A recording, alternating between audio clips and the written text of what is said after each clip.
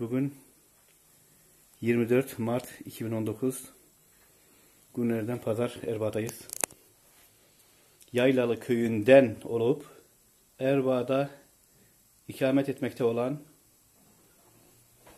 babam Ali Erdem'in dayısının değil mi? Dayısının oğlu Nurettin Aslan'ın oradayız. Evet. Evet, akrabayız seninle. Geçmiş olsun diyelim. Sağ olun. Teşekkür ederim. Evet, seni bir tanıyalım bakayım bilmeyenlere.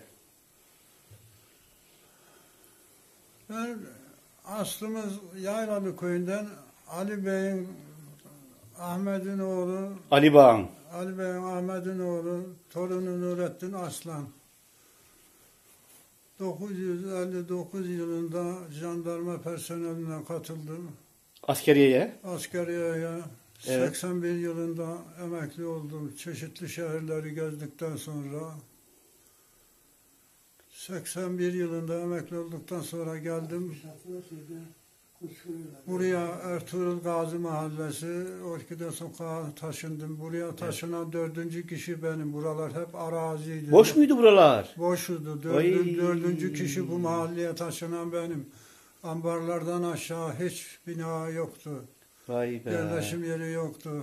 Bomboşuydu her taraf. Bomboş. Hatta ben buraya yerleşirken buradan bizim köylüler geçerken Ali Bey'in torununa bak tarlanın ortasına ev yapıyor. Köyde yapsalardı tarlalarının ortasına. Ee, Erbaa'ya yapacağına köye yapsaydı dediler. Diyorlar, Dediler. Ben buraya tabla atıyordum. Evet. Peşlerinden çarşıya gittim, yetiştim. Dedim ki biz biz dedim Erbaa'nın e, eski yeni eski kurulan mahallelerinden e, arsa almaya, ev almaya bizim maddiyatımız yetmez. Maddiyatımıza göre hareket ettik. Burası dedim 15-20 sene sonra çarşı olacak dedim. Hakikatten de oldu, çarşı oldu bura. Şu 20, anda- 20 sene sürmedi bile de. Şu anda beş tane eczanemiz var, iki tane marketimiz var, ota tamiri var, iki tane tuhafiyeci var, bakkalı var, Bir nolu sağlık ocağı var orada. Var. Aile hekimleri var. aile hekimleri yedi Gümüşşehir, tane. Gümüşşehir Eczanesi'nin arkasındasın değil mi? Evet, Hemen yakın. Yedi tane doktorumuz var şu anda, Yakınında. yakınımızda. Oo, Petrolümüz var, daha ne olsun, buna çarşı oldu. çarşı oldu evet evet. Eski yol güzergahı burası. Erbaa'nın eski giriş ana yolu burası. Evet. Askeriyede kaç yıl görev yaptınız? Askeriyede 24 yıl görev yaptım. Maşallah maşallah.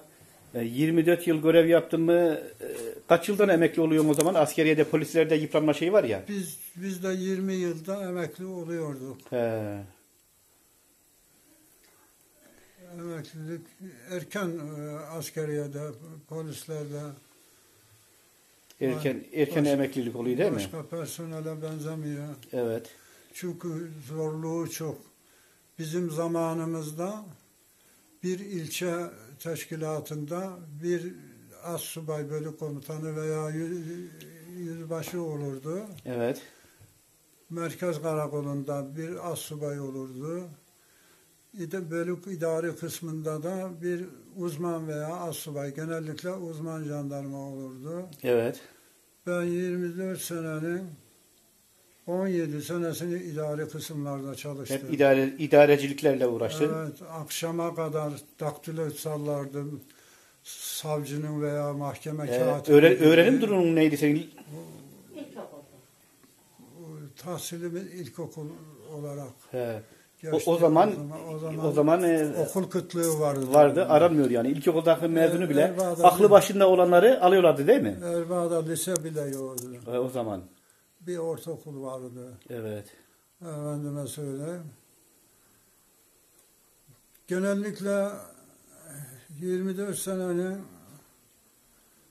17 senesi veya 18 senesi doğuda geçti. 7 sene bir batıda Çanakkale'de kaldım o kadar. Evet. Van'dır, Çoğunlukla doğudasın. Van'dır, Sivas'tır, Ağrı'dır, Erzincan'dır, Hmm. Trabzon'dur. Buralarda tamamladık. Türk, 17 Türkiye'nin en güzel yerlerinde geçmiş.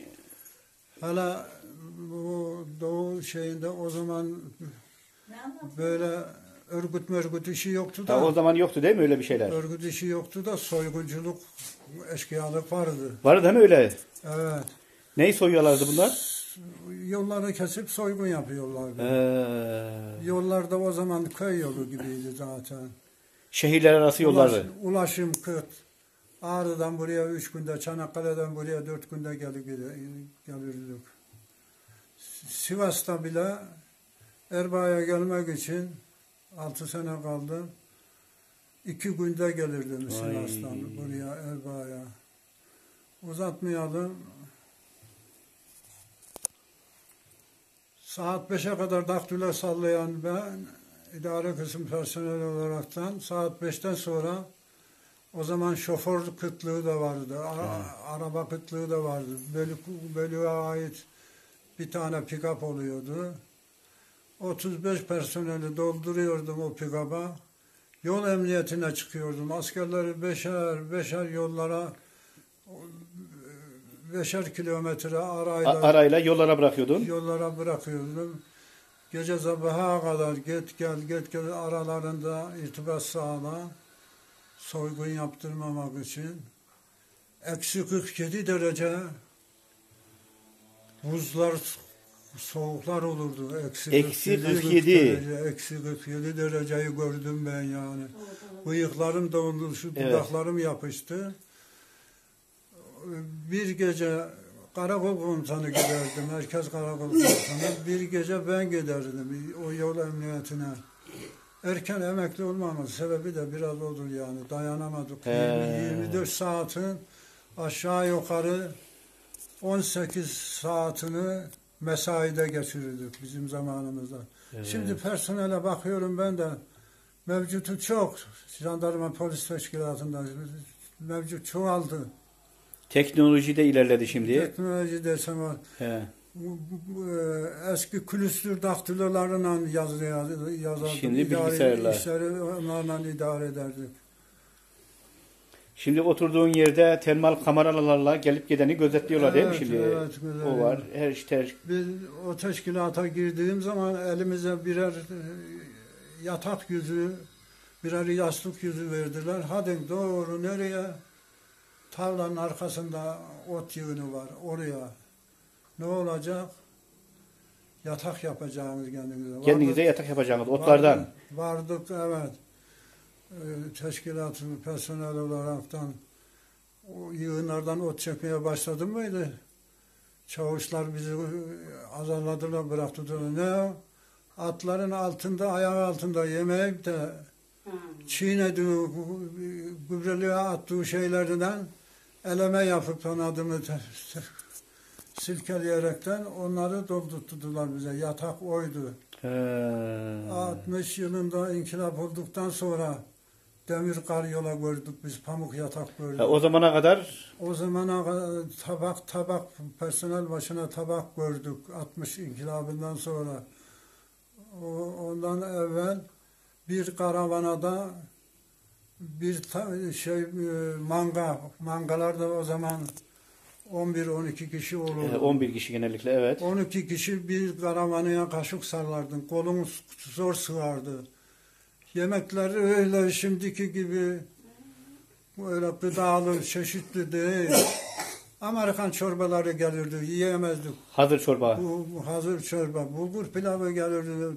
Taştan dişlerimiz kırılırdı. Şimdiki personel görsün de o günleri bizden dinlesin.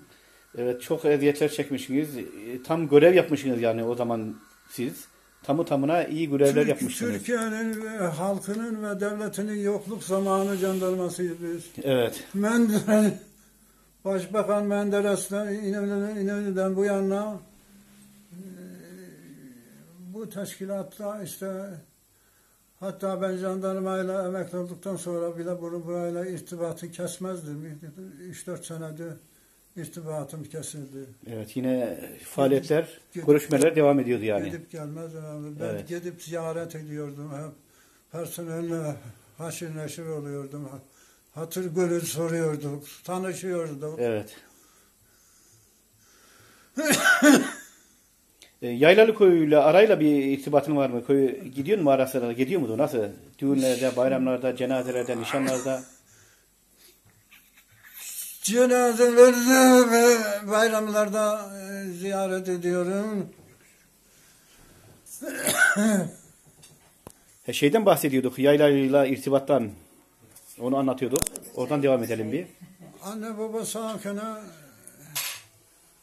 haftayı veya on günü geçmezdi. Şimdi Evet. senede dört veya beş sefer ziyaretim oluyor. E, güzel yine. Senede 4-5 defa 94'ten gidiyorsun. bu He, tarafa.